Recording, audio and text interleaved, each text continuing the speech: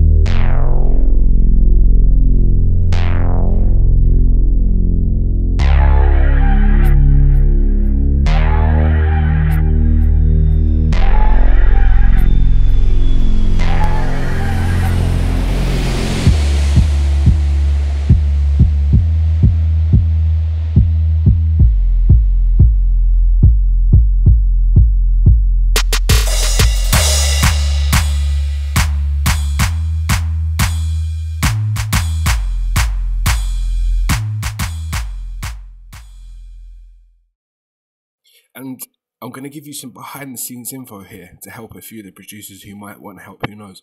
Yeah. Now, this sample, you say, well, that's not in, in FL Studio. And I'm going to break down how I made it. Basically, in the process of making this song, um, I always have like a, I was away from the studio making that beat. So what happened was, um, lyrics and flows are coming to my mind.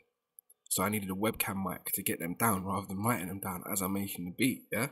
So after about four takes, there was layers of sound, you know, because it's a webcam microphone I was recording through.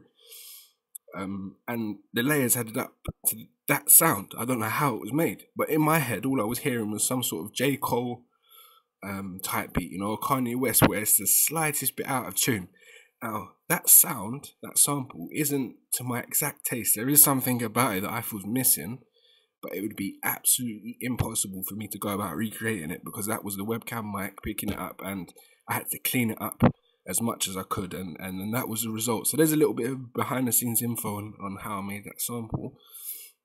That's my entry to the basic beat challenge. It's as simple as this. Keep it basic, yeah. Keep it entertaining, yeah, and just make sure you know put it on some corner, one of the many corners of the internet, yeah, and bring it to my attention. Joseph West signing out. Sellbeatsfast.com. Peace.